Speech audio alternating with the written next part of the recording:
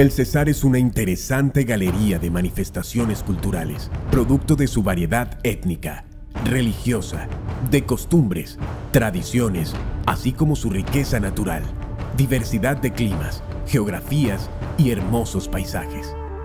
Cuenta con el espejo de agua más grande de Sudamérica, la Ciénaga de Zapatosa, catalogado como un sitio Ramsar, con 123.624 hectáreas que lo hacen el humedal de mayor importancia a nivel internacional. En esta tierra se promueven iniciativas de restauración ecológica en busca de la conservación de sus elementos naturales.